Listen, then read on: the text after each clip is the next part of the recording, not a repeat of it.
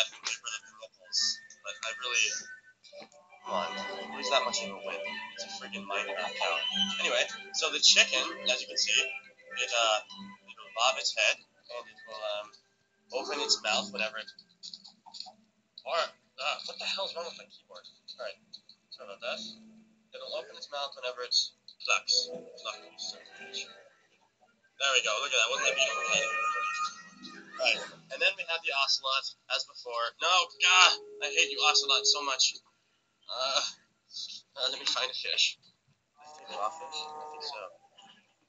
Alright, let's try to choose a different ocelot because the ones that I, I currently have are just kind of do.